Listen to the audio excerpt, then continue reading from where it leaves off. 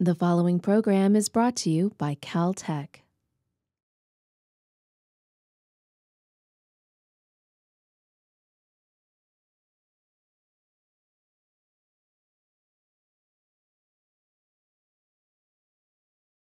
Well, good evening, ladies and gentlemen.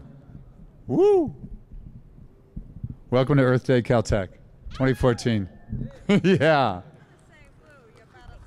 We got some really groovy people here up on the stage with us. Uh, my name is Brian Brophy. I'm Director of Theater Arts here at Caltech. We're glad that you came. Don't forget there's free coffee from Rose Cafe over here and Ernie's Truck. And for those of you streaming, hello.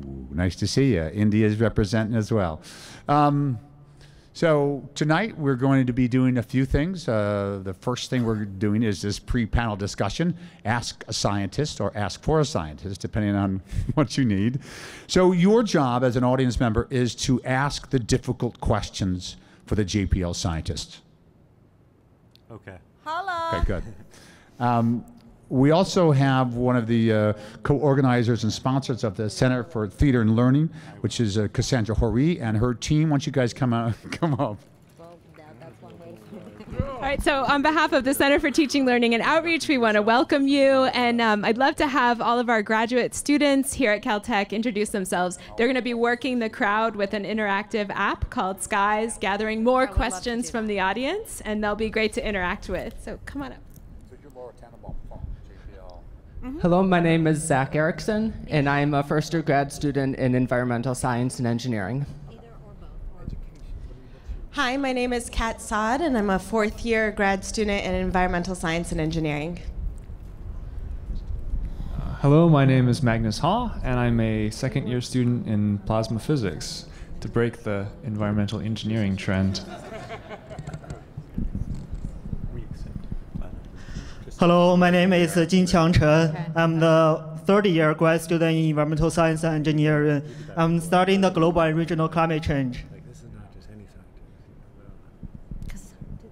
Hi, my name is Anne Lorea. I'm a fourth year graduate student in environmental science and engineering.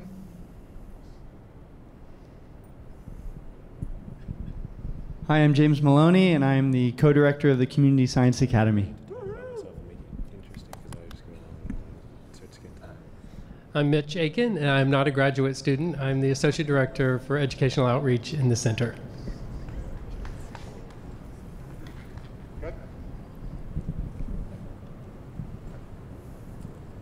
Uh, I just want a big thank you to Susan Callery from JPL of wrangling all of your scientists coming down here to Caltech.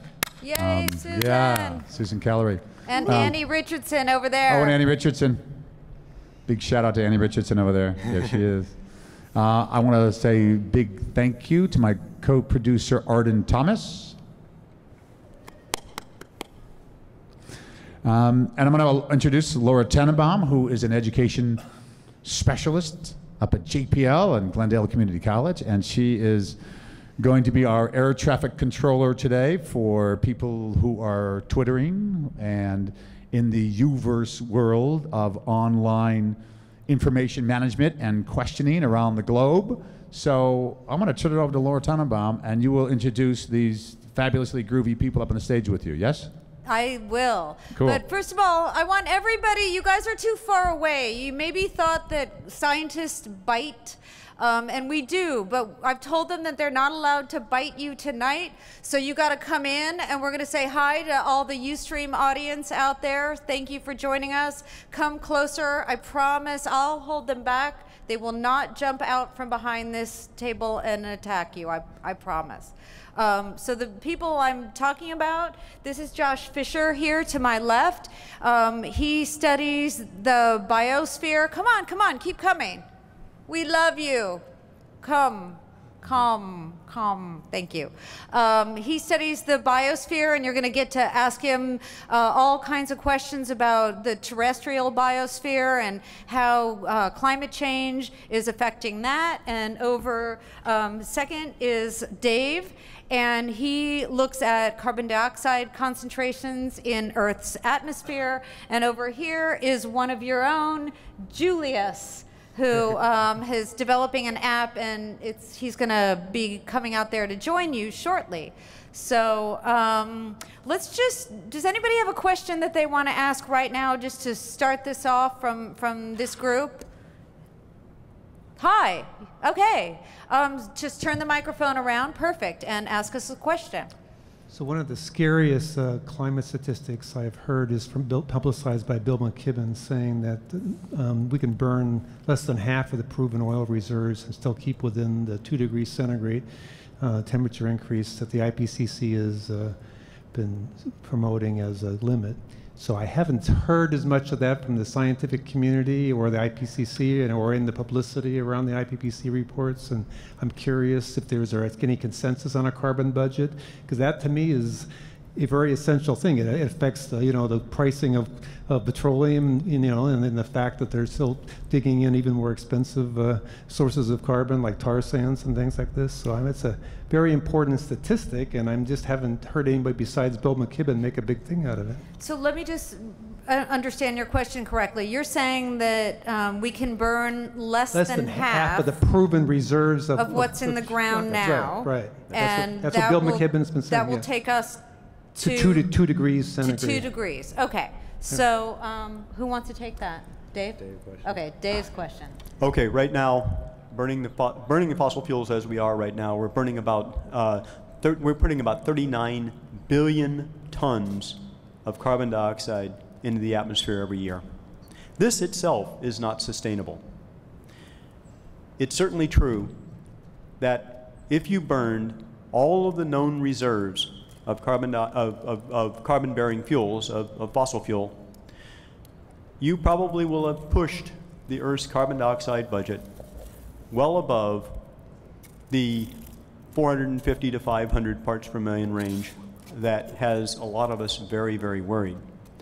A bigger problem with that, that you're not noting here, is that once you emit the carbon dioxide into the atmosphere, it tends to stick around for a while, anywhere from about 300 to 1,000 years. So it's a problem that we're building into the future that's going to take a long time to solve. I want to just um, interrupt you for a second. So you said 39 billion tons per, or Year. total, per year. 39 billion tons of carbon dioxide being emitted into the atmosphere every year. That's about five and a half tons of carbon dioxide for every man, woman, and child on this planet. But we're Americans. We're overachievers. a few years ago, I would have been sitting on a podium like this, and I probably did, and I said that the average American emits about 20 tons of carbon dioxide into the air every year. I can report now with some happiness that we've actually come down a little bit, and I had to revise my numbers. Currently, Americans per capita emit about 16 tons of carbon dioxide into the atmosphere each year, each.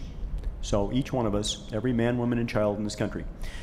I also used to say that the average Chinaman emitted about two tons of carbon dioxide into the air every year. Now, it's a lot more than that.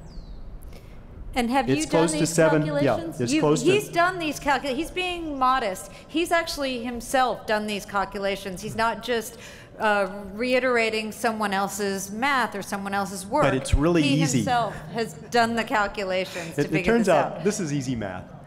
But what we found is that the average Chinaman now is actually emitting about seven tons of carbon dioxide. There are a lot more Chinamen than there are U.S. citizens, for example. Uh, and it's that those those are the, the, the amount of carbon dioxide being emitted by China now exceeds that being emitted by the U.S. In fact, it is emitted it, it is it is ex, it's uh, exceeded the U.S. emissions since about 2007. 57 percent of all of the carbon dioxide currently being emitted into the atmosphere by human activities are now being emitted by developing countries, countries that are trying to come up to the level that we we're already at. They're doing it by burning fossil fuels. We're just now learning how to mine out of the ground. It should be past the peak of fossil fuels. That's what was predicted a few years ago. But we found a lot more. And we're going to continue finding a lot more. And as we burn those fossil fuels, we just keep kind of digging the hole a little deeper that we're already in. So, And it is a Julius, problem. has someone tweeted a question or There- are you streamed? There are three questions on skies right now. Okay, so I can you pick one? Pick the best one. The best one. Um, well, I- I'll pick a simple one that you guys have probably heard a long time. that is, isn't it too early to tell? It has only been 50 years, right? So why don't Josh, you can go for that one. Too He's tell- laughing. Too early to tell what? Too early. So he, the question is, isn't it too early to tell whether or not we're changing the climate? Yeah, I mean, that- it's a good question because it's, you know, climate happens on large timescales, and that's pretty hard to understand. You know, it's hard hard to kind of conceptualize. We know if it's raining on us, we know if the, the, the weather is raining, but that's not climate. It has to kind of occur for a long time. You know, like 30 years at least minimum. So we've been we've been changing the climate for climate timescales, and we've already been seeing impacts um, and, and effects. So I, I do a lot of work on the land, so um, interested in droughts and floods and ecosystem health and, and crop um, sensitivity to changing temperature. Um, but of course, we're already seeing oceans rise and ice melt. So we're definitely seeing a lot of changes already. Um, now, of course, the Earth's temperature changes naturally. Um, it's gone up and down since the history of the Earth. Um, and what we've seen is that the temperature over the last few hundred thousand years kind of goes up and down and up and down. And lately, it's gone out, way outside those bounds. And that's a little bit different than the natural cycle. Um, and, and, and that's basically the, the human influence.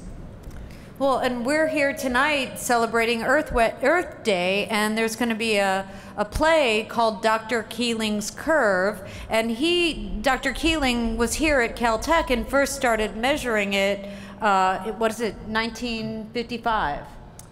In the very beginning, the first measurements were made in the in the mid 50s, uh, and then finally his first his fi- uh, his first permanent site uh, installed on on Mauna Loa in Hawaii was finally installed and was making very regular measurements starting in early 1958.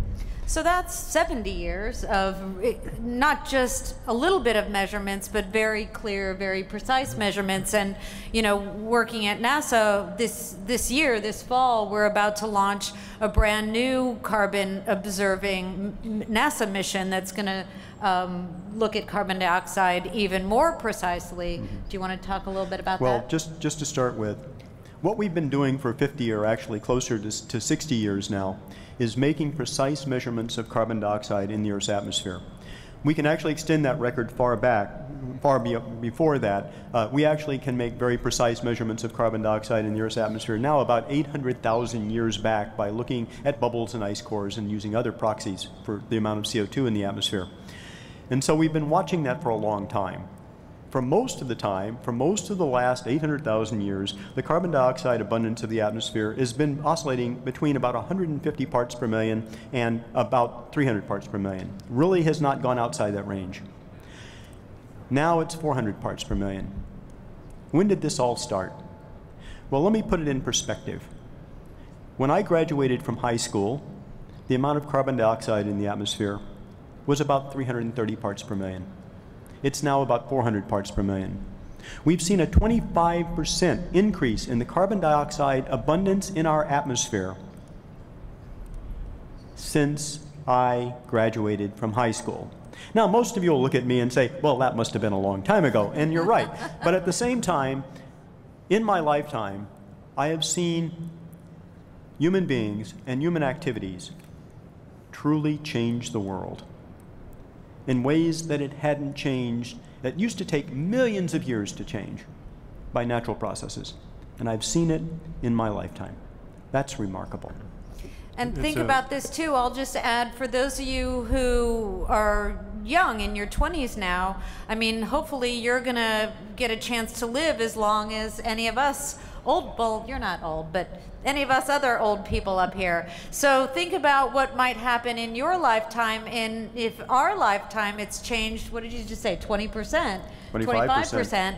What's going to happen in your lifetime? And I just, before we uh, do the next question, can we have, um, if people want to come up here more for any of you guys who just showed up, you're welcome to come forward. Did you have something else to say, Wait. Josh? Oh. No, no, let's just move on. yeah. Okay, another, does anybody from the crowd have another que- question before we go to Julius? You can step up to the mic. Step up to the mic, any of you, someone in the crowd. Okay. We- Uh, here we go, here we okay, go. here comes somebody. Yay! What keeps anybody in the world from not understanding that there is climate change? Why do they object to it? Why is it that they don't grok it, as they say? Yeah. I'll, I'll go for that.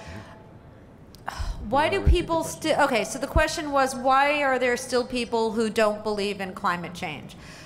And I would ask you back, why are there still people who smoke cigarettes? Um, it's called habit, I think, and this is just my opinion. I'm, there, I'm not a scientist on opinion on uh, people behavior. None of us are, but um, I think there there's a, a habit. We're we're stuck to our our ways. Some people, or many of us, all of us to some degree, are stuck to our ways.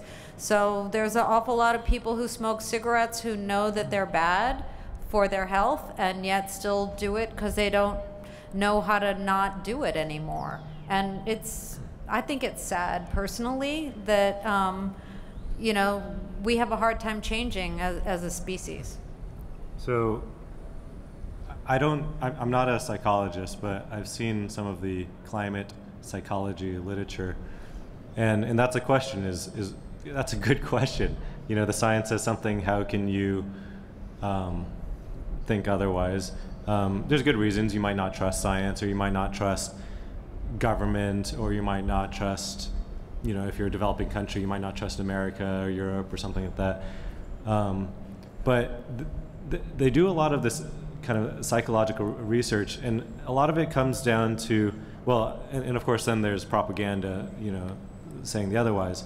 But one analogy that I kind of like is why do we why do we know that um, the sun doesn't revolve around us, right? We see the sun up there. It, it, it's kind of inherent. We would believe, unless science tells us otherwise, that the sun revolved around us. Or why do we why do we not think that the Earth is flat? According to our eyes, it looks flat. Um, and, and so there's kind of a natural, a natural instinct to, um, to disbelieve a major change because you're not seeing it unfold before your eyes, like in a rapid kind of way. Um, and you know, a, a lot of that is just part of human nature. You, there, there has to be that thinking part that comes that comes across. There has to be that questioning part. If someone tells you there is no climate change, do you just believe it? If I tell you there is climate change, do you believe me? Right. And so one thing as as scientists that we're trying to get everyone to do is to question us, right? Question us, question what you hear, because that's what science is all about: is questioning. Um, and yeah, I, I think that um, I'll add we need that. to encourage that some more. Yeah, I'll add to that too. What he said about, um, you know, the fact that there is no sunrise and sunset. It's really the sun is staying in the same place and the earth is revolving. But even in our language, we still call it sunrise and sunset left over. And um, people knew that the earth was not flat. The first people calculated it about 300 BC. But our society as a whole didn't start to acknowledge that till, you know, a, over a thousand years later. And same with um, the fact that the Earth is revolving rather than the sun moving around. That was discovered, you know, um, by Galileo and Copernicus. Um, and yet it wasn't accepted by the society for many, many years. So it's normal for a scientific um, body of knowledge that's very well supported by all the evidence to not be understood by society for many, many, many years. And the difference between climate change as an issue is that by the time all of society finally understands it, it's just happening really quickly. Does, do you want to add something about that? I'll add a couple of things. First of all, a, a part of the answer to what you've just heard, why are there people who still don't, who still do not believe in climate change? That's actually only part of the question. The other, of course, is is that climate change caused by us? Or is it something that's natural and would have happened anyway? Because climate change has happened in the past. Part of, the, part of the reason for that is something that nobody said, but it, you're kind of hinted at it. We're a little bit lazy. We're intellectually lazy. We don't want to change our way of thinking if we've been thinking one way. We have long thought that we didn't have any control over our environment. And as we've gone through life and, and gone through uh, culture and civilization, the whole part of it was to control our environment. Guess what? we are since the beginning of the 20th century, certainly, we've been making, taking much better control of our environment, and we have been making changes in it. Some of them for the better, some of them for the worse. I actually like air conditioning, but I, I can understand that things like air conditioning require the use of energy, and the use of that energy actually has consequences, which is the release of carbon dioxide into our atmosphere, we can measure carbon dioxide being released in our atmosphere, and we can see that we're doing that. We also can determine through laboratory measurements that it actually does change, it actually causes the Earth's atmosphere to trap more heat. So we can learn all of these things, but part of what Josh touched on is, is really part of the, the real piece of information here that we have to start taking advantage of. As scientists, we learn and understand things about the world around us by observing them, asking questions, making measurements, designing experiments, and testing, testing, testing until we get the answer again and again and again. And that's how we answer questions like, is the climate changing and are we contributing to it? The general public doesn't always do that. They actually take, take our word for it as scientists, or they take the average talk show host uh, word for it, unfortunately, thinking that they know as much. Or worse yet, they take a politician's word for it, thinking that they know as much. And they do that because, once again, we're a little bit lazy and we don't want to actually go and do the research ourselves. But you know what? It's not that hard these days to go and do the research yourself. The measurements that we take are tested again and again and again, and we publish them in every possible way, including on the internet. Simple Wikipedia searches, you can actually go and learn a lot of this stuff. Just go and do it. Take a look at it. See if we're right about this. Look at the numbers that we see that convince us. If it convinces you, great. If it doesn't, ask the question. We'll go and look at it again and we'll try to convince you again. But our job really isn't so much to convince you. Our job is to understand what's going on in the world around us. That's our job. So some argue that scientists are crummy communicators and we're not good at transferring the message to the general public. We I'm are. sorry, that's true. We, we are, are, crummy communicators. we're geeks and nerds. And we're not good at that. Our job, though, is to make those good measurements, to actually understand those measurements and understand the world around us. And that's what we're good at. The other thing we're good at is getting that information into some other form that at least others can test. It may just be other scientists, but others can test.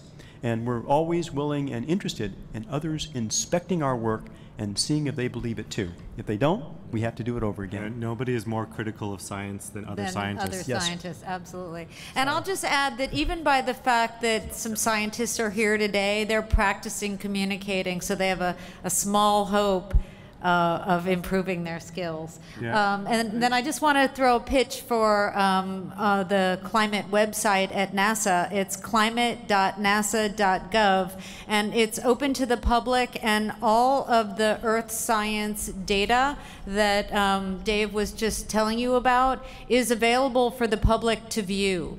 So um, if you want to do what he said, you can find that information climate.nasa.gov. And Julius, do you have another question or do you want to talk about the app for a second? Well, I can always talk about the app for hours, um, but there's actually 17 questions that have come in since you guys okay, were talking. We'll, we'll try to answer okay. faster. so all 17, right away. All 17, rapid fire. No, I'll, I'll just I'll just do them randomly. So one of them is since the climate is changing and the water levels are rising, and I've heard that it would take 1,000 years for the water levels to go down, is there any way we could speed up the process of uh, alleviating the effects, right, I assume. Right. right. Speeding up the process of making it go faster. making it worse, yeah. No, yes, ma- burn making it lots better. of fossil fuels. Uh, Do you want to start, Dave? Just real quickly, Uh, yes, there are ways to speed up the process. The first uh, part of the, the situation is stop adding carbon dioxide to the atmosphere and other greenhouse gases uh, that, that are causing the problem. And you need to do that as soon as possible because the more you put in, the more you're stuck with for a very long time. The second thing that you can do actually is start to find ways to do what we call sequester carbon dioxide and other greenhouse gases to take them out of the atmosphere. This will take some research, it'll take some effort, but we could do that and that could bring the system uh, back into equilibrium, back into the state that we're more used to, much faster than a thousand years. Okay, Josh? Absolutely. We'll just move on. Yeah. Okay. yeah. Next, question. Next question. Uh, let's see. Well, okay, this is probably a repeat. What types of realistic policy changes do you think are the most effective at countering climate change? Realistic policy changes. None of us are policy experts, but I'll, I'll add to what um, Dave said before. Um, what can people do as far as um, mitigating climate, the effects of climate change? Is, um, you know, there's a lot of energy efficiency things. He was talking about um, releasing less or stop polluting the atmosphere with carbon dioxide. And one of the ways to do that is to be more efficient. And one of the ways to be more efficient is to get together in groups like we all are doing today by celebrating Earth Day and talking about these things and you know joining together to figure out how can we become more efficient at an institution like Caltech or JPL or individually at home. How can you become more energy efficient in your own life? Um, and there's lots of different ways to become more energy efficient by purchasing more energy efficient electricity, uh, um, uh, appliances is the word I'm looking for, um, and also driving a more fuel efficient car, uh, and also what? Say Or not again? at all. Or not at all, walking more, riding your bike more, using public transport, public transportation more, um, all different kinds of ways that you can be energy efficient. There, in, in fact, there's many uh, energy efficient appliances out there that are releasing less carbon dioxide into the atmosphere. So there's there's many ways, and as you know, students, you may be the ones who are going to invent the next more efficient item that everybody's going to want because all of us want to reduce our carbon footprint. Everybody does. Yeah, I mean, so again, not not a policy expert, although we we we work a lot with international kind of cap and trade monitoring, uh, reducing um, deforestation by um, paying people not to deforest, and we're trying to get you know from a NASA perspective, um, good accounting on how much biomass, how, mu- how much carbon is locked up in these trees that could that people might want to chop down for their livelihoods. Um, what would it be worth to, to pay them? So there's a lot of different kind of big policies. Some of the more domestic policies that I see, um, you know, we do a lot of subsidies um, to promote growth, um, and we subsidize, for instance, gasoline. It's much cheaper here than it is in Europe. We could have more subsidies for renewables. Um, Absolutely. What else? Well, also Uh, the other thing is maybe there's not a perfect policy, and it's going to be up to somebody in this crowd today to come up with it. I mean, you know, as an educational institution, I am always recommending that people educate themselves around all the options and then think for yourself. So, um, yeah. Another kind of interesting, um, very international and broad um, policy approach to, to climate change. Obviously, it's, it's about the CO2 emissions, but it's also about the population growth, right? That's the kind of big elephant in the room, um, especially in developing countries. And one of the one of the keys to kind of managing that, which I've which I've read about, and it might cause you to scratch your head, is um, empowerment of women um, and education of women, especially in de- developing countries. The the statistics show that um, countries with the kind of highest mobility and empowerment um, and rights of women tend to have kind of lower birth rates, not because there's health problems, but because the, the women are doing other things. They're Um, staying in school is what they're doing. they're doing other things. Yeah, I've read a and, lot and about so this. It, it, it might cause you to scratch your head. Empowerment of women, climate change, but if you think about it kind of further, this is this is something that kind of cuts. You know, you can tell everyone to buy an electric car, and that's all well and good. But there's there's kind of more fun, fundamental tied into human rights as well. um, Absolutely. that you, you you know it's you, you can do a lot of good with some kind of more directed approaches. Let's do another question. Okay, how about Or this? does- does Dave, do you want to turn? It? Okay, this is Oh. a sharp, a sharp uh, divergence. I'll just uh, move to the next question. Uh, the question is: I've heard that volcanic eruptions can lead to cooler temperatures locally, uh, temporarily at least. Is this true, and does it have any implications for the lessons concerning global warming?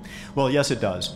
Uh, it turns out that volcanoes actually emit uh, somewhere between uh, 1 and, and 2% as much carbon dioxide into the air as human activities do. So they're very small. Uh, they actually do, uh, were the original source of all of the carbon dioxide uh, in the Earth's atmosphere, but they're not a big source now. And in fact, they emit aerosols into the atmosphere, uh, mainly uh, Aerosols are- smog. Tell the people Uh, what so aerosols are. Small particles uh, of things that fly around in the air, you gotta uh, very much like like the uh, like like LA smog. LA smog or nitric acid aerosols. Um, the the aerosols that, that are emitted by volcanoes are primarily sulfuric acid aerosols. Those that make it into the stratosphere actually hang around for a while, at least a few years, and the last uh, few lar- very large volcanic eruptions that we had, uh, Chichon and Pinatubo in partic- particular in the 80s and 90s, actually put clouds of sulfuric acid aerosols into the stratosphere that cooled the Earth by a couple of degrees. That's a very big amount uh, over, over the entire tropics uh, for a couple of years, and that was a tremendous impact. There are people who would like to think of doing geoengineering activities. In other words, well, if volcanoes can do it, hey, we can do it better. Uh, let's go and put a cloud of aerosols uh, around the Earth to reflect more of the sunlight from the Earth before it's absorbed by the atmosphere and the surface, and that'll cool things off a little bit. And the answer is yes, it will, but it'll also make your world a lot smoggier. It could also make your world a lot more dangerous. It's also a great way of changing your climate in ways that maybe you can't quite predict. So it actually might add, add a lot more risk if we took on those kinds of activities uh, as ways of trying to correct uh, global warming. A better way to do it is to uh, simply stop emitting quite as much carbon dioxide in the air. I mean, and these volcanoes have to be big, right? I mean, you guys remember that Iceland volcano, right? I can't pronounce it, and it like shut down European, like you know, across Atlantic air traffic, and it reduced, you know, it actually had negligible impact on Earth's climate. It wasn't that big. So like your volcanoes have got to get really big, and like like Dave said, the last big one was like 91. Yeah. Uh, you know, and that was in the Philippines. I mean, that was that was big. It lowered the temperature of the Earth, and then it all kind of washed out, and things returned to normal. Two years so, later, yeah. Two years later. So you know, these volcanoes, um, they're interesting because like they ha- they do something, but not really a big player. Is there any other um, audience questions who are live here? Somebody want to step up to this mic right here? There's a gentleman. Step up to the mic. Tell us your name and what's your name? Hey, I'm Eric. Hi, Eric. Um, I was wondering what you guys think about cap and trade in California.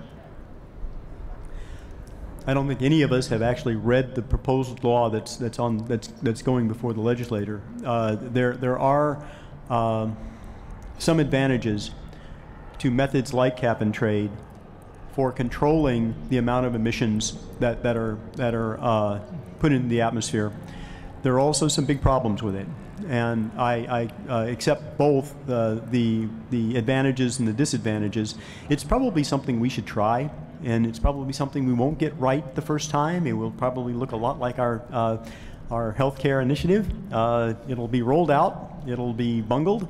Uh, a lot of people will say then it's time to give up on it, and in fact, all it took was maybe a little more time to, to get it right.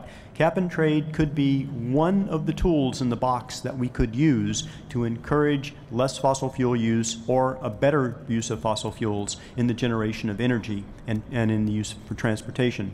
It is certainly not the final answer. It is not the only answer. By itself, probably will not do the whole job. Once again, one tool in the box. Um, an interesting perspective on cap and trade that I heard from a philosopher um, was that i- is it, and he was coming at it from like an ethical, moral grounds, which was if you kind of take the analogy of slavery and you put a cap and trade on slavery as a means to solving the problem, you, you, you can only have three slaves. You can't have four slaves, right? Is that fixing the problem? It would help, um, but you know, it, it's it, that's that's for the philosophers and the policy people to to get into. I just want to throw that out there because I thought it was kind of interesting. the other thing I will add to all of you who are tweeting or Ustreaming or here live is you know, you have right here in front of you the opportunity to ask a scientist who's done actual research on the science a question. So really make the most of, uh, like, I, I understand that you want you want to know more about policy and that sort of thing, but um, and please write your representatives and ask them those kinds of questions and read up on it. But right here live for the next half an hour or so, you have the opportunity to ask a scientist a scientific question and learn a little bit more about that side. So please make the most of that opportunity. Well, feel free to ask policy questions. Or you can and we'll ask a policy question, and we will we will continue to deflect him what he said. Uh, We, we have another question here uh, that we could we could read. The question is actually a pretty good one. It says, "Is global warming really a threat to our everyday life?" Because pers- I personally don't see it happening right now. excellent question. You're going to wait until the West Antarctic ice sheet collapses and drops into the uh, Pacific and, and, and Indian and Atlantic Oceans and raise sea level by nine meters before you notice. Uh, actually, climate change may not be affecting your life right now. I accept that. Uh, if you live in the Midwest and you haven't seen rain in years, uh, I'm really sorry about that. I'm sorry that that probably is climate change that's really happening and really affecting your lives today. If you live in the Midwest and you're using the Ag- Ogallala Aquifer, you're actually noticing most of it's going away. It is affecting your life today. It's going to affect your cost of water tomorrow. If you live in California now and you're worried about drought, well, guess what, guys? That's also climate change. Whether it's human induced climate change or normal climate change, it's certainly affecting our lives. Uh, it's continuing to affect the lives of those, uh, of everyday life of average Americans. But the people who are most affected by climate change, unfortunately, are those that are a little far away and a little poorer than we are. People who live in the vicinity of coastlines where flooding has become more and more common. Uh, if you happen to be an Inuit living in Alaska these days, you used to have these giant ice sheets out there protecting your land uh, from giant storms in the wintertime that inundate them. Uh, the, the ice sheets have gone away, and the storms are coming in, and the places where you live don't exist anymore. So once again, even small changes in the climate can produce big changes in some people's lives. Uh, your life may not be affected today. Your future might be affected today. I just want to emphasize what Dave said about do you really want to wait till all of a sudden it's affecting you?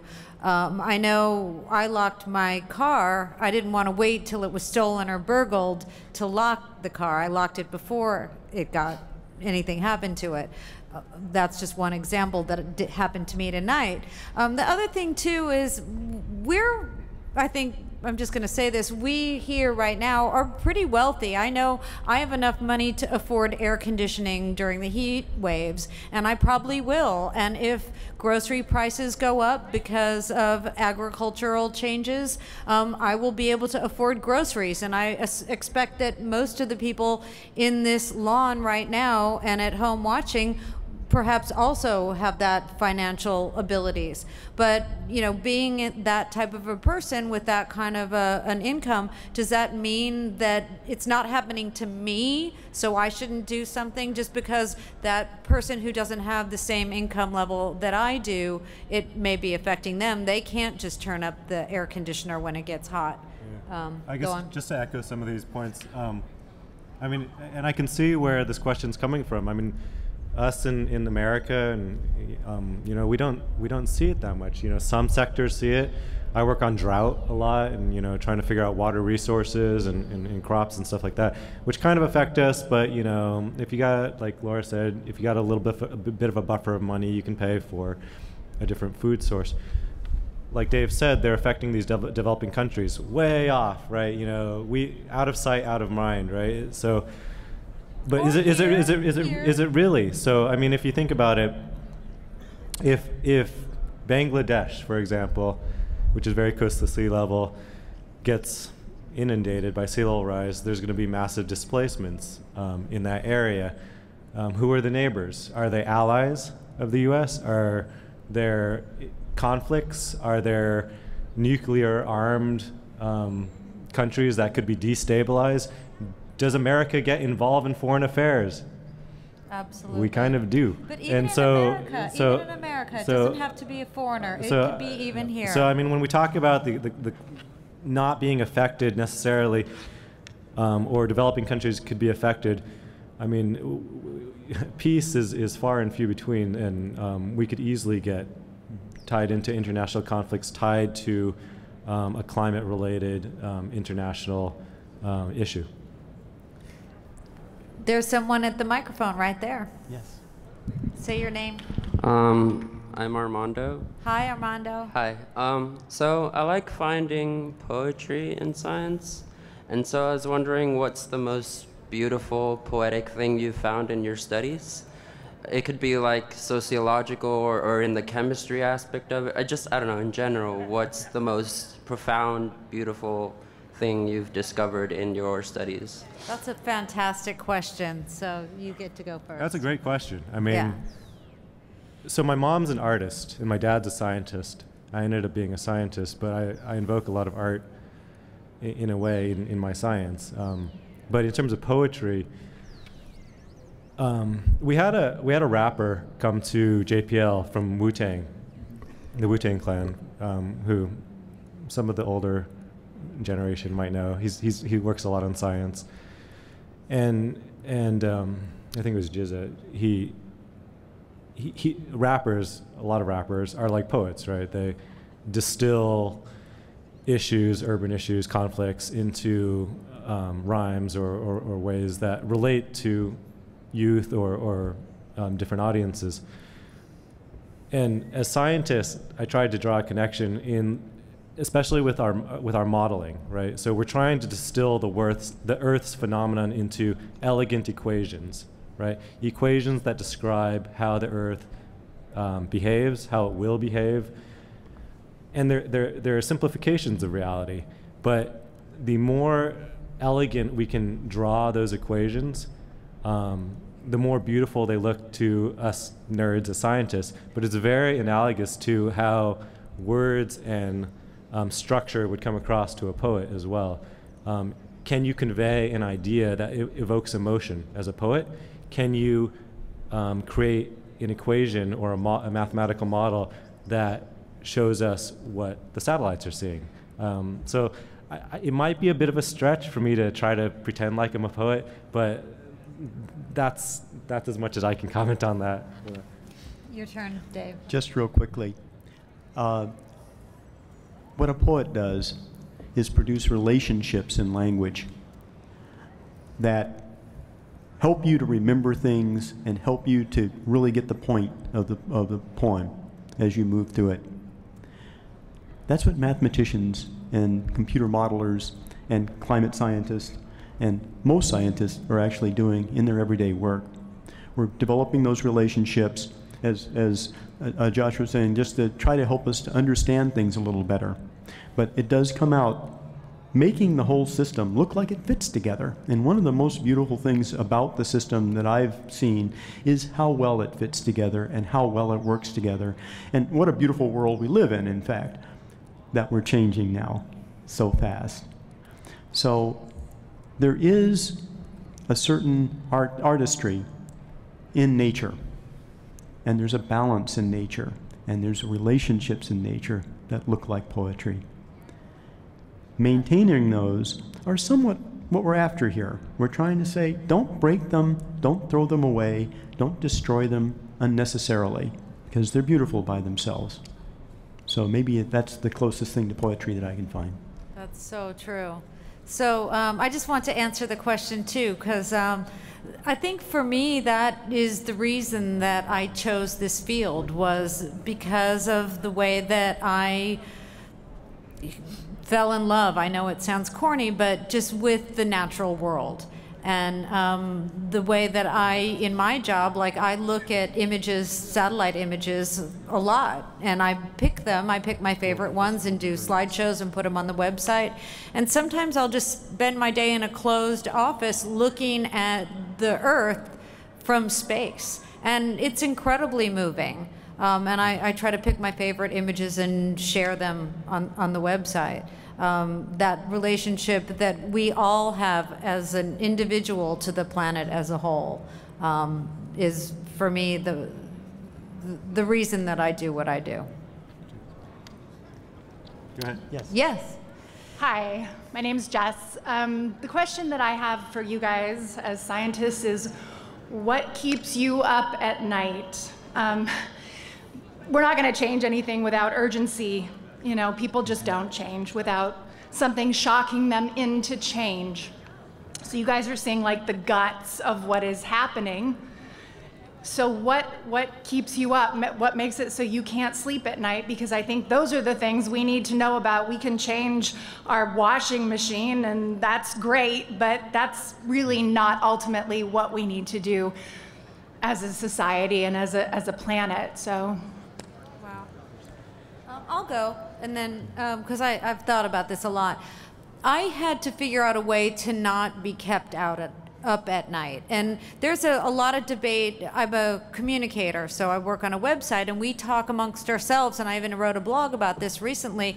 How much panic do we want to have? If you get too panicked, then people just freak out and can't deal with it and turn away. And if you're too passive, then, or too like, oh, we're happy, da, da, da, then nobody does anything enough. So to how to find that balance. So I think for, for me personally, I've learned to not panic and to stay up all night and to freak out. And I'm really searching for a healthy, move forward in a realistic, responsible way rather than a freak out. And I, I don't know if you said you started your question with people won't change unless they're freaked out. No, I don't. Or shocked, shocked, shocked into change. Shocked. I don't mean freaked out. Or, okay, so people won't change until they're shocked.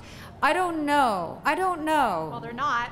What they're not, cha- but people are changing though. If you look, there's so many more green options. In fact, Dave, I don't know if you were here when he was saying we have reduced our, um, our as a, in, as a country, we have reduced our uh, carbon footprint, and there's more happening all the time. We That's haven't done true. it fast enough. That's true, but we're also fracking. So.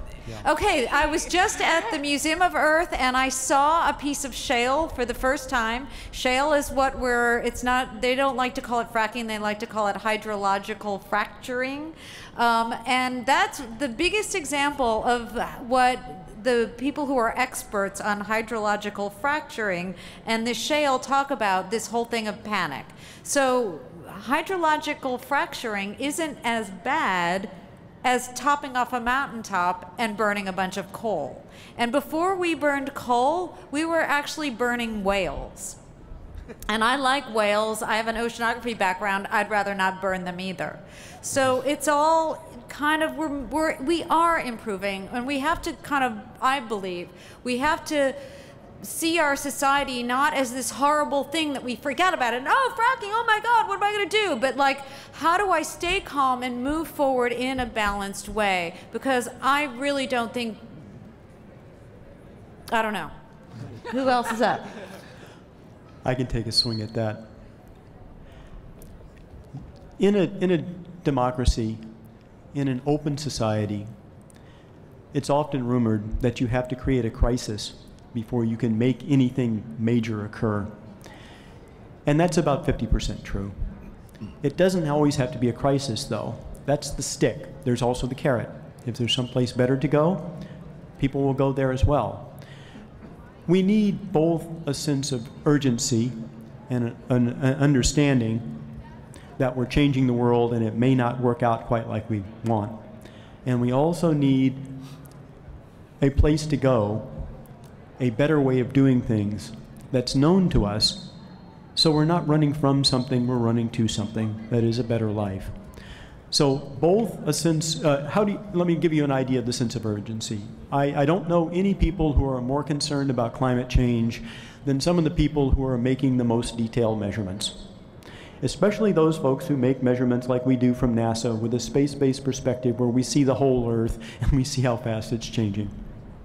Many of my colleagues see this and it's so alarming to them. Uh, that they uh, essentially stop being scientists and, and try to just spread the word.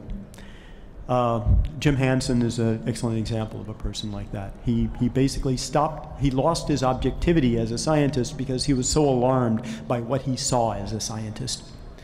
You don't need to go that far, necessarily, to make a difference. There are others in our society, when they see a problem, they say, hey, I can go and solve that problem. I can actually go and, and make a difference here by making a contribution in solving this problem. And there are a bunch of those, and most of my colleagues are along those lines, trying to figure out how to do it. My, our policymakers, they also fall along all of these lines. There are those that are the crisis mongers who want to make this a crisis or make it not a crisis or make it a crisis that people are trying to make it a crisis. And then there are those who are problem solvers. God, I hope we can find some problem solvers here, because that's what we really need. Thank you. Josh? What keeps me up at night? I guess my two-year-old. I don't know. and her future. Um, hi. Hi, uh, my name is Zach. Um, and so like everything is a trade-off in life, and, and we we've talked about how if we keep emitting uh, greenhouse gases, that will have you know hugely negative effects in the future. But there's a cost right now in terms of not emitting these gases. Uh, lesser developed countries need to produce CO2 in order to develop uh, into sort of first world countries. Um, how much money would you be willing to spend in order to take out one ton of CO2 in the atmosphere? Right now, that number is around 20 bucks. Uh, that's basically what a ton of CO2 would cost you in, in a country which actually controls CO2. It oscillates between about $13 and about $50. Uh, the oil companies actually pay uh, basically one or 50 bucks per ton of CO2. They pay that money to coal companies to buy carbon dioxide emitted by coal-fired power plants uh, in order to pump into their underperforming wells to pressure push the uh, push the uh, oil out under pressure. That's how you make an underperforming well work. Almost all of the wells in the U.S. work that way. So $50 is the answer to the going cost. How much would you want to pay, and how much of your personal income, of your personal effort, would you want to pay? I don't know the answer. I think it's a personal thing for everybody in the audience here and everybody on this planet. Uh, I personally have invested very heavily in not emitting CO2. I have solar panels on my roof. I drive an electric car that's charged by those solar panels. I've even replaced the roof to make it a, a, a cool, solar cool roof so I don't have to spend as much on things like air conditioning and can still be comfortable. But I spent a lot on that. I don't expect others to necessarily dump money into things like that either, but I'm one of those people who is losing sleep at night, so I put a little more in. Those who are losing more sleep, put more in those who are not losing sleep, well, hey, don't stick around too long or you'll be affected too. So did you lose less sleep after you put on your solar panels? Little tiny bit. Little tiny bit. At least I don't feel guilty every time I accelerate from zero to 60. That's true. You want to take a question from Twitter? Let's do Uh, one from more Twitter. from the computer, and then we'll go from Okay. those two people in the the- audience. Uh, what made you say that Dr. Hansen was losing his objectivity? I've, I've known and worked with Jim for uh, since the 1970s. I respect him amazingly, im- immeasurably, and I also respect the work that he's doing now uh, as a, uh, a, a climate change advocate, because we need those. But as he became more and more concerned about climate change, and I see this in some of my other colleagues as well, you lose your objectivity. You're so worried about the change that you are going out to prove that there's a change rather than make a good measurement or write a, a model that teaches you something new. I'm not sure that Jim ever lost his, his objectivity in an absolute way, but he certainly lost it in the sense that because he came out so strongly against climate change and carbon dioxide and greenhouse gas emissions and black carbon emissions, that everybody stopped listening to him from a scientific standpoint. They said, oh, he's just talking about the same stuff over again. And if he went out and, and ran new models now, which he does with his team, uh, it's, it's a, you wonder whether he's trying to prove that he was correct or whether he's trying to understand how nature works.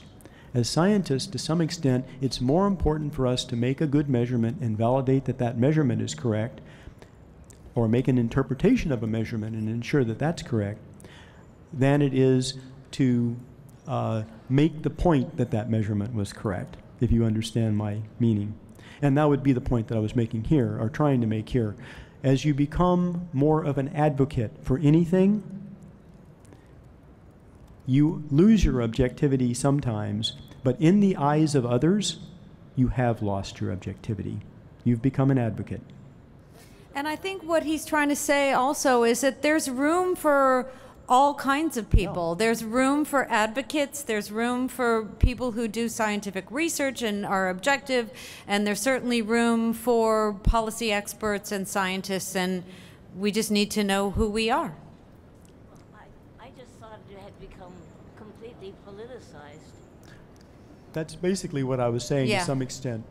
Science should not be politicized. It's unfortunate that it is. Hi.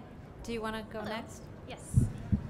Hello, everybody. Um, my name is Elaine, and um, so of all of the um, environmental friendly solutions or uh, climate change solutions that people are proposing, um, whether it's things you see marketed on TV or things politicians are doing, um, I think we can break them down into two basic categories of low tech and high tech. Um, and uh, so I'm just that that's very fascinating to me, and um, I was wondering what you think about um, the difference between those two, which you think is more feasible in general, um, which is easier to convince people to do. Obviously, this is Caltech, so we might lean towards the tech, but yet we all agree that bicycles are great, um, which are decidedly low tech. So, what do you think about that divide there? Um, I can start. Um, so on the low tech solutions, I mean, some of the things are like tree planting, and uh, a big thing that we're actually a lot of scientists are looking at, and um, is is is something called black carbon, or basically. Um, in developing countries, how they're how they're getting warmth. You know, what are they burning? How are they cooking their food? And what gets emitted from a, a more efficient burning process versus a less efficient burning process? And there's very very low tech um, options for cooking, uh, cook stoves um, that produce less kind of black carbon or, or, or soot that is dark and you, w- w- would absorb more radiation. From the high tech um, point of view, uh, maybe I'll pass that one to Dave. Thanks. That was that was actually nice of you. Uh, I'm a high tech guy. I, I love the technology. I also see the problem as a problem brought to us by technology, whether it's low tech or high tech. And it's a problem that could be solved by a range of, of actions, some of which are re- will require some high technology, some very sophisticated technologies, maybe some that don't exist yet, and we're going to be waiting on some of you guys to build. But there are lots of ways that are simple ways that are low technology that can, uh, can actually reduce the impact of climate change and the rate of climate change in very, very remarkable ways. Walking is one of them. Uh, rather than driving, uh, transportation is 30% of the emissions of greenhouse gases. Uh, why have we forgotten to walk and forgotten how to walk? Uh, we used to be a walking society, uh, believe it or not. And only a century ago, uh, most of us got out and actually used our own muscles to get around. And you know, you still have those same muscles. You haven't evolved out of them. Uh, low tech solution could make a big difference. Uh, some other things that are low tech is, you know, living with other people is okay now. We have antibiotics and so forth. It's not like the Middle Ages. And if you live with other people and you, you actually don't have to commute 50 miles to work, uh, that's another low tech solution, not having to do things. But I'm not a grass shirt guy. I like the high tech, and I tend to look to that first as my, my decisions, for, to make my decisions on how to mitigate climate change. Uh, and so uh, I, I'm, I'm just, I just want to acknowledge there are lots of low tech ways as well.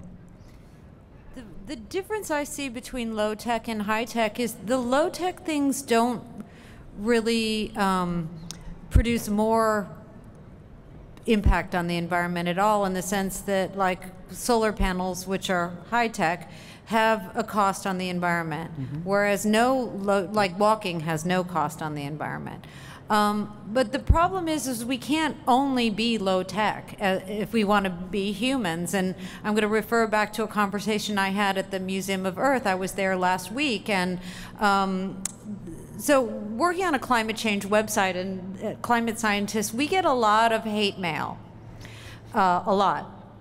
Yeah, I see you got you got a lot of hate mail too. No, all love. Not a lot. All love. I- I I- get we love. get a lot of hate mail, and so I was uh, talking to these guys who are experts on shale, and they're not advocates for or against this hydraulic fracturing, but they just understand the science of it, and um, they get tons of hate mail too. And he was the gentleman who was explaining to me how you know, because I wanted to learn.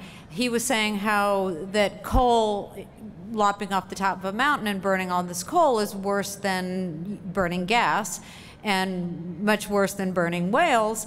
And he was telling this to somebody, and they said, Well, why do we have to burn anything? And as a species, that's kind of what defines us. I mean, humans discovered how to use fire two million years ago or more. And so it's kind of impossible not to burn something uh, if we want to stay, stay human, which means we need to have a high tech solution as well. By the way, we had one of the Twitter questions that was pretty much exactly that question. So we answered kill two birds with one stone. It's no, fantastic. we petted two birds. We don't kill Okay, birds. yes, thank you very much. we Kissed. fed. We fed two Fed birds. two birds. Okay, Yes. very good. With one uh, seed of grain. That would be good. Do you want to go to the Twitter? or- Yeah, let's go one, One- more one- Twitter and one then we'll Twitter. come back. Okay. Which one do you want to go with? Um, gosh, I've got one in front of me that says Earth is a living organism, uh, same as the human body. If the human develop, if a human develops a disease, the body works to counteract it. Is the Earth responding in the same way? Is there, and and and if so, uh, what are the indicative responses? Gaia? no. you want to take that one, Josh? Uh, it's a good question. Um, yeah, and and I guess like a living organism, they, a dis- disease can kill it. Um, Yeah. So it doesn't necessarily counteract. it. Global warming is not a fever that's likely to, to kill off the uh, processes that are causing it, though. And so, in, to that extent, that analogy doesn't go quite that far. Yeah, I mean, so the way the way I look at it is is, is you know from from ecosystems, forests, species, plants, and um, you know I, I- I've spent years in the Amazon trekking through, trying to figure out you know these these are what we consider the lungs of our planet. How are the lungs responding to this warming? It's it's fiercely intense uh, in in the Amazon. Every there's you know thousands of species competing for every little bit of space and light. And I've also climbed up and down um, all the way up the Andes into the cloud forests. Um, and one of the questions that we looked at are uh, is can can these species, can these forests escape the heat by going upslope?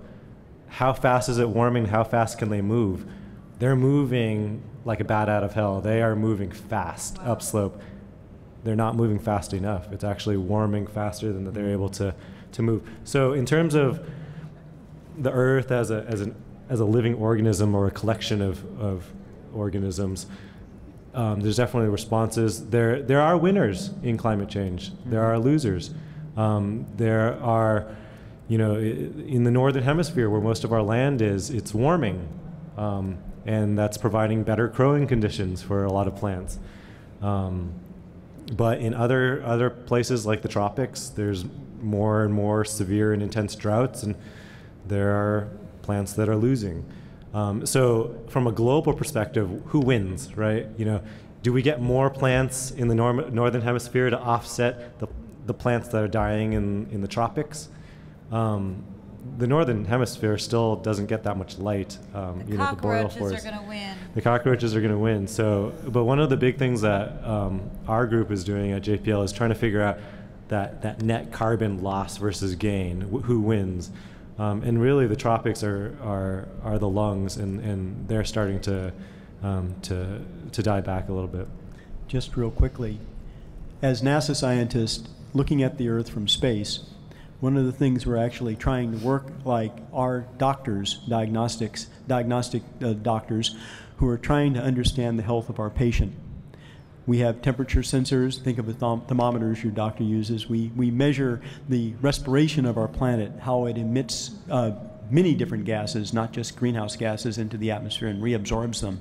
Uh, we watch that very carefully. We watch uh, cloud cover. We watch uh, the, the, the number of acres of land that are covered by trees. We watch the salinity of the ocean and the currents of the ocean uh, at, from space. And so we're basically acting like a doctor trying to diagnose the patient.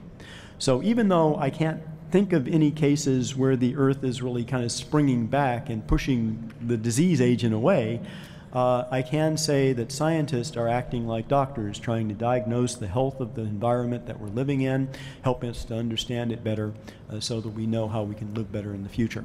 Uh, so that's one, one area where uh, there is an analogy there. But we should probably go to the locals.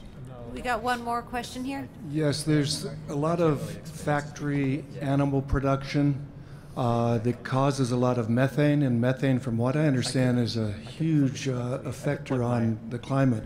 Can you explain what can be done in regard to diagnosis and uh, solving that particular issue? We, we have a lot to talk about methane. Yes. Um, there actually, methane is, is one of our, our, uh, our second most important greenhouse gas. Uh, it's produced by a number of processes, and right now agriculture is among the highest of the, the uh, producers of, of methane. Uh, factory farms are uh, produce an unnecessarily large amount of methane, uh, and and could be controlled a little better than they are in that regard. They, and actually in every regard. But um, once again, it's just one piece of the puzzle. Yeah, I mean, so right now NASA is very interested in methane. We're flying an airplane, an airborne mission called CARVE, all around Alaska, trying to pick up methane uh, from the basically all that carbon that's been locked up there in the Arctic for centuries, kind of trapped underneath the permafrost, and the permafrost is thawing back. When you say pick up methane, you mean the sensor is trying to detect measure. it. Yeah, not actually like with a scoop.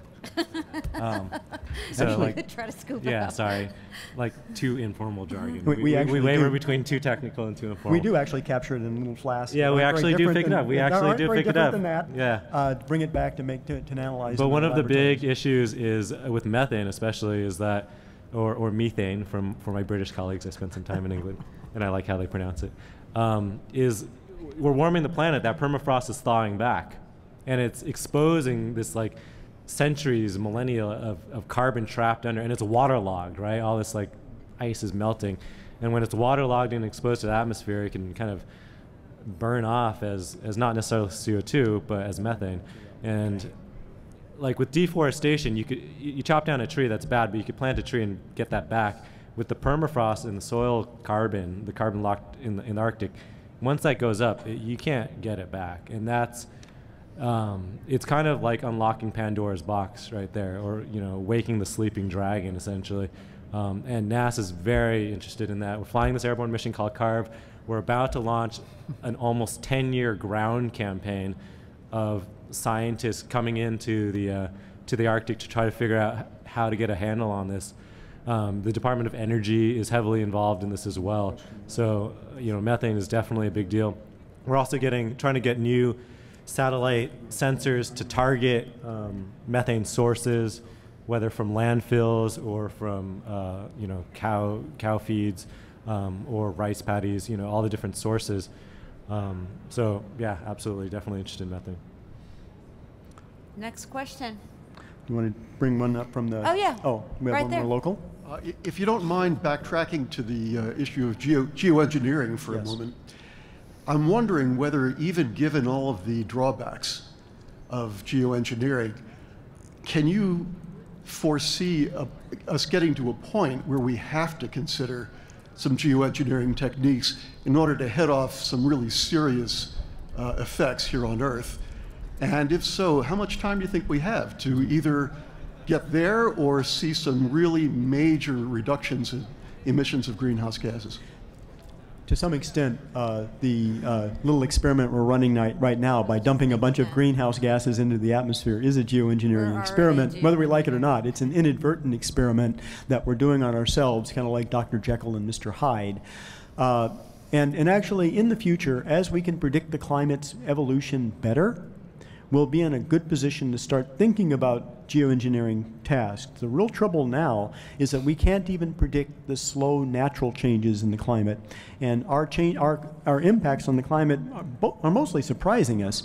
Uh, back in, in the 1970s, uh, uh, a couple of our colleagues at Caltech uh, discovered that adding chlorine to the stratosphere uh, could actually be a problem for ozone, and they made some dire predictions about uh, chlor- chlorine, or I should say, uh, uh, chlorofluorocarbons, uh, CFCs, used for air conditioning and cleaning and everything else, could affect the ozone layer.